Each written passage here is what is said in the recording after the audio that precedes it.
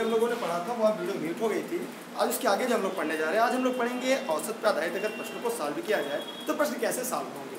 तो बहुत ही आसान है। पहले हम लोगों ने पढ़ा था, उस बात उसको हम एक बार रिविजन कर देते हैं। पुनः ये अगर आपको साथ समझ में नहीं आया था कुछ लोग को आ भी गया था। जैसे अगर ये पूछ दिया जाए कि प्रथम क्रमागत बीस सम संख्याओं का औसत क्या होगा? तो मैंने कहा था कि सम क्रमागत सम संख्याओं का औसत अगर पूछता है, उसका एक सीधा सा फॉर्मूला है, प्रथम पूछे या ना पूछे, हम उसे कर देंगे एन प्लस वन क्या लिखेंगे? एन प्लस वन लेकिन विषम के लिए पूछेगा आपका? जैसे कह दिया कि प्रथम क्रमागत बीस विषम संख्याओं का औसत क्या होगा? क्या होगा? पच्चीस. पच्चीस का पच्चीस, बीस का बीस. बीस का, है ना? बीस. जितना कहेगा उतना. केवल यन विषम के लिए केवल यन विषम के लिए केवल यन सम के लिए यन प्लस वन बस.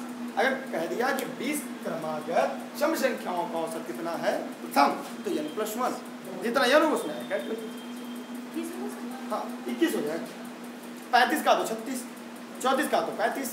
लेकिन विषम के लिए अगर कह दिया कि प्रथम चालीस विषम संख्या का औसत क्या होगा? चालीस। बाकी तो मैंने बताया था कि प्रथम पद में अंतिम पद जोड़ के बटा दो कर देंगे क्रमागत है औसत निकल जाएगा आसानी से औसत आ जाएगा। ठीक उसी प्रक्रिया में हम लोग और आगे बढ़ते हैं। समझ में आ गया? कोई दिक्कत? कोई डाउट कोई डाउट नहीं ना? हाँ बीस क्रमागत विषम संख्याओं का औसत बीस ठीक चालीस कह दिया तो? लेकिन वही सम कह देता तो यन प्लस वन उसमें एक ऐड कर और कुछ भी नहीं विशेष करना। समझ में आ गया आपको? नहीं आ गया। आ गया? चलिए। हाँ? अभाज्य का उत्तर आप बताएँगे। जो मैंने क्वेश्चन दिया उसका उत्तर आप स्वयं बताएँगे। अब आगे हम लोग अगर जैसे दे दिया कि 20 संख्याओं का औसत क्वेश्चन लिखते रहिएगा। 20 संख्याओं का औसत बयालीस हो तो संख्याओं का योग क्या होगा? 20 संख्याओं का औसत बयालीस हो तो तो संख्याओं का योग क्या होगा? या कुल संख्याओं का योग क्या होगा? बहुत आसान है लगाना, और आप लोग तो आसानी से लगा भी लेंगे। देखिए, इसमें कुछ करना नहीं, विशेष कोई काम नहीं ऐसा है जो आपके लिए पहाड़ जैसा प्रतीत हो या पहाड़ जैसा लगे। इसमें मैंने बताया था, यदि संख्याओं का योग ज्ञात करना है और आपको औसत दिया गया है तो एक छोटा सा लॉजिक आपको यूज़ करना है, उस लॉजिक का नाम भी आपको पता है कि औसत औसत गुणे संख्या के पद संख्या। हमने फॉर्मूला लिखा था, अगर आपके पास होगा लिखा होगा आपने देख लीजिएगा। जिस दिन मैंने औसत के बारे में बताया था, औसत बराबर कुल पदों का योग बटे कुल पदों की संख्या, वही मैंने बताया था कि कुल पदों का योग बराबर औसत गुणे पद संख्या। तो आपको कुल पदों का योग जब ज्ञात करना है तो क्या करेंगे? संख्या, पद संख्या कितनी है बीस? औसत कितना है? बयालीस गुणा कर देंगे। जो प्राप्त होगा, वही क्या होगा? तो कितना है? आठ सौ कितना होगा? आठ सौ चालीस। समझ आ गया? तो हमने क्या देखा कि हम क्या करें बीस संख्या दिए, बीस गुड़े औसत से गुणा कर देंगे। कितना हो जाएगा? तो योग्य संख्याओं का योग। इसी क्वेश्चन को एक बार और देखते हैं और समझने का थोड़ा सा प्रयास करते हैं। जैसे लिखिएगा। लिखिए क्वेश्चन बीस संख्याओं का औसत पच्चीस है। बीस संख्याओं का औसत पच्चीस है। तथा पाँच संख्याओं का औसत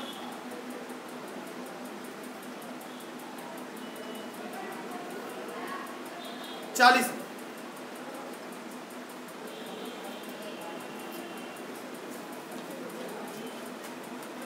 चालीस तो कुल संख्याओं का औसत क्या होगा? तो कुल संख्याओं का औसत क्या होगा?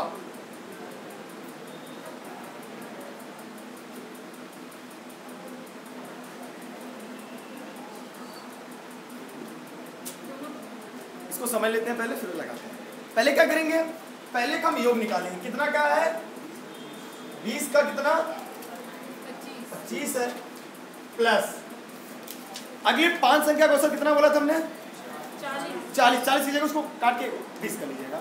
अतिरिक्त पाँच संख्याओं का औसत बीस। कुल संख्या कितनी हो गई? अब देखिए शुरुआत के ये बीस संख्याओं का योग ये पाँच संख्याओं का योग निकल गया। बुला कर देंगे योग निकल जाएगा अभी हमने पढ़ा था इसको। ठीक? अब कुल का औसत निकालना है तो कुल पदों का योग बटे कुल पदों की बीस प्लस पाँच। समझ में कैसे हुआ? भैया, बीस संख्या का औसत पच्चीस है बीस गुणे पच्चीस। तो बीस संख्याओं का योग हो गया। फिर कह रहा है कि पाँच संख्याओं का औसत बीस। बीस कर लीजिएगा। तो पाँच गुणे, इनका योग निकल गया। कुल का औसत, माने कुल पदों का योग बटे कुल पदों की संख्या। कुल पद कितने होंगे? बीस और पाँच। दिख रहा आपको? तो पद जोड़ देंगे। तो पच्चीस दो पचास पाँच सौ हो जाएँगे। प्लस बीस पंजे सौ छह सौ बटे बीस पच्चीस पच्चीस। ये ऐड करेंगे। छह सौ बटे काटेंगे चौबीस आएगा हाँ देखिए चौबीस आएगा कितना है।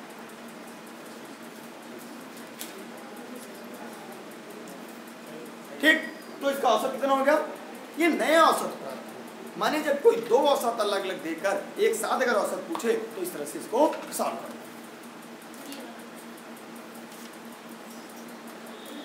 अच्छा एक इनका क्वेश्चन था वो हम बता देते हैं।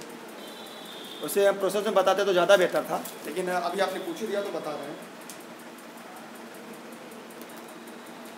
चलिए अब क्वेश्चन आप पढ़िएगा तो हम बताते हैं। या एक स्टेज और रुकिए इसके बाद पढ़ा रहे हैं।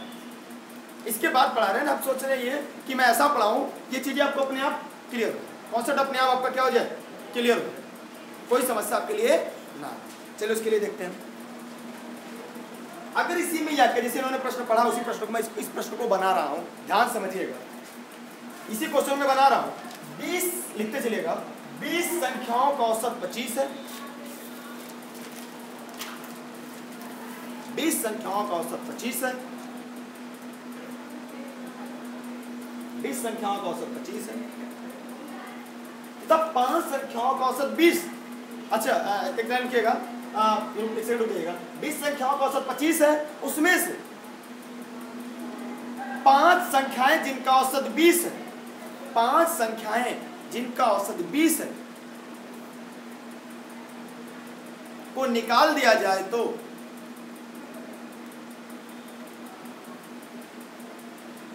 बच्चे हुए संख्या का औसत होगा तो बच्चे हुए संख्या का औसत होगा तो बच्चे हुए संख्या का औसत होगा।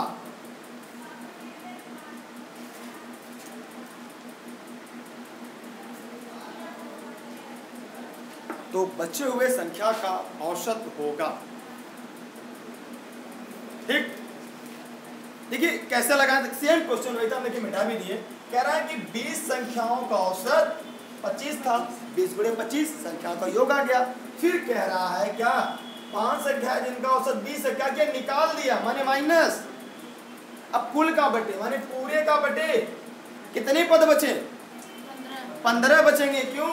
बीस में से पाँच निकल गए। बचे पंद्रह। अभी आपका होगा, पच्चीस से गुणा करेंगे पाँच सौ माइनस सौ बटे पंद्रह। आपका हो जाएगा, बराबर चार सौ बटे पंद्रह काटेंगे। तो अस्सी बटे तीन। तो औसत जो होगा, अस्सी बटे तीन।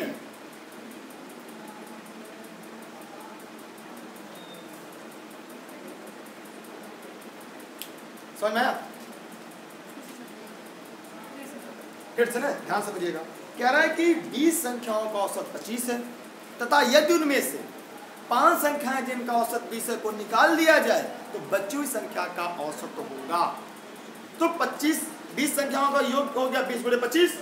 निकालने की बात कर रहा है किसको? पाँच संख्या है, किसका? जिनका औसत बीस हो, पाँच बड़े बीस, सौ निकल गया। पाँच सौ में सौ गया, बचा कितना? चार सौ। तो पाँच सौ में से सौ गया, चार सौ। चार सौ बटे बीस माइनस पाँच, पंद्रह संख्या है क्योंकि कुल पदों को एक बटे कुल पदों की चार सौ बटे पाँच करेंगे, पाँच से काटेंगे, अस्सी बटा तीन। औसत दसवां कह रहा था दसवां बदल दीजिए। उत्तर किसमें दिया। सही बटन दिया, सही बटन कन्वर्ट कर लीजिए। कोई समस्या किसी कोई समस्या नहीं है ना? समस्या और पूछ लीजिएगा।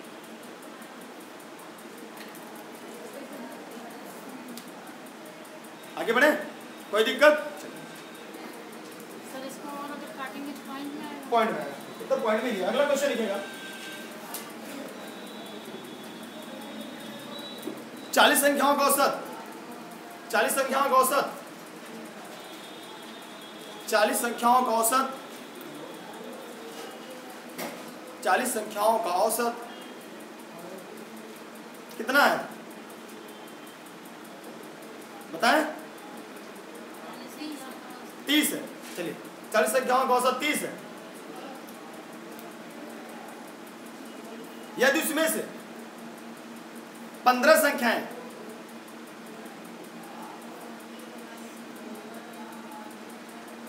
जिनका औसत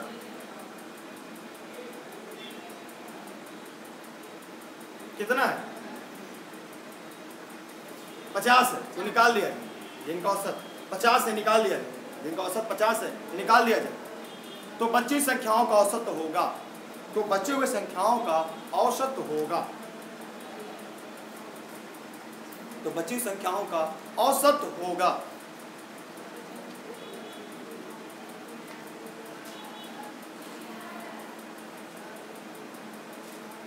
सॉल्व किया जाए?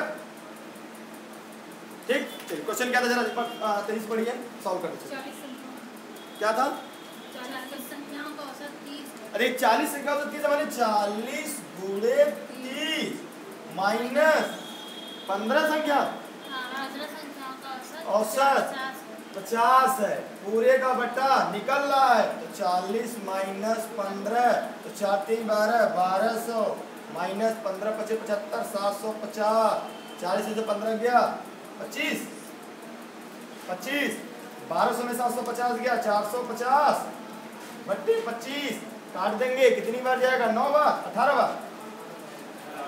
तो उत्तर क्या होगा? अठारह। नया औसत कितना हो गया? अठारह।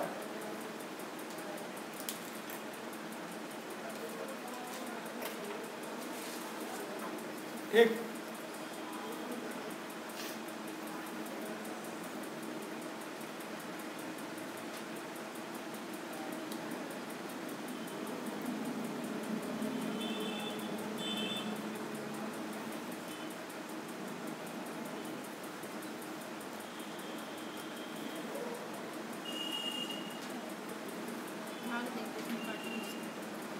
समझ में आ रहा है चलिए क्वेश्चन बोल दे रहे हैं। स्वाति जी कब से परेशान है?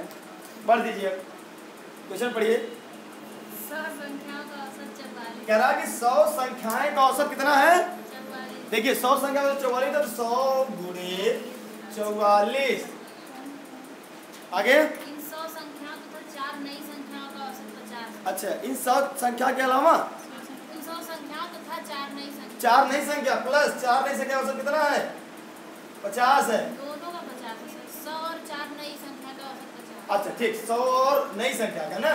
तो इसमें चिन्ह लगाएँगे संख्याएँ होंगे कितना? एक सौ चार हो चार इनका औसत कितना है? पचास। तो चार नई संख्याओं का औसत कितना चार? नई अच्छा जो चार संख्या नहीं जोड़ी उनका औसत क्या होगा? तो लग गया जी। देखिए कैसे लगाएँगे? अब इसको पहले प्लस इधर कर देंगे, इसको इधर कर देंगे। बड़ी संख्या है। माइनस में नहीं आएगा, इसको अंतर चिन्ह लगाना है। इसमें प्रश्न को पढ़ देते देखिए, सौ संख्याओं का औसत चौवालीस है। यदि इसमें चार संख्याएँ और जोड़ दी जाए, इनका औसत पचास हो जाता है। तो नई संख्याओं का औसत क्या होगा? ठीक? तो बस इसको सॉल्व कर देते हैं हम। सॉल्व करेंगे, कितना आएगा टोटल देखिए, सौ संख्या में चार संख्या निकाल देंगे। कितना बचेगा। चार संख्या अब गुणा करेंगे। एक सौ पाँच गुणे एक सौ चार कहाँ से कह रहा सौ संख्या थी। चार संख्या और जोड़ देंगे जिनका औसत पचास। अच्छा एक ये हो जाएगा पाँच सौ बीस पाँच इक्के पाँच बावन सौ अंतर ये हो जाएगा चौवालीस। पूरे का बट्टा ये अंतर का बड़े में छोटा घटाना। तो बावन सौ में से चौवालीस हो गया कितना होगा? आठ सौ। बट्टे चार कट गया। औसत इसका। ठीक। समझ आया एक और सरल तरीका। कह रहा है कि सौ संख्याओं का औसत कितना था? चौवालीस। यही तरीका सरल जाती है। क्योंकि ये मेथड में पढ़ा ही रहा था।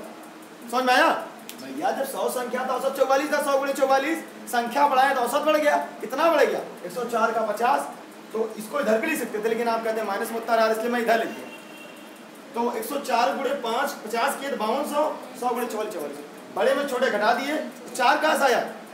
ये चार संख्या तो निकालना था। ठीक? समझ में आ गया? कोई समस्या? कोई समस्या नहीं? लिख लीजिए, छाप लीजिए स्क्रीनशॉट लीजिए। जो समझ में आपको आए। वो कर लीजिए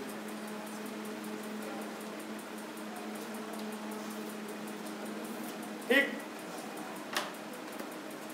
एक क्वेश्चन और करा देते हैं आपको उसके बाद। कल पढ़ते हैं इसके आगे कहानी। समझ में आ रहा है ना? कोई दिक्कत हो, तुरंत बताइएगा क्या समस्या हमको उत्पन्न हो रही है या समस्या आ रही है।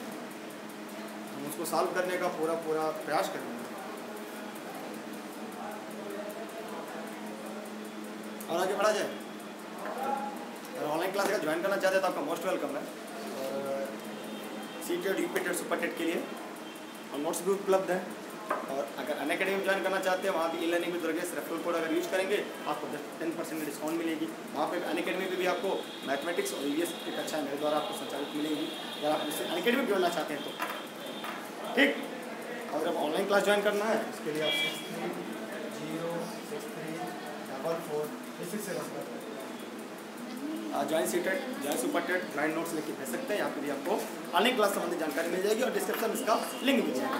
ठीक, हो गया? आगे बोले क्वेश्चन लिखेगा बारह संख्याओं का औसत। बारह संख्याओं का औसत। छियालीस है। बारह संख्याओं का औसत छियालीस है।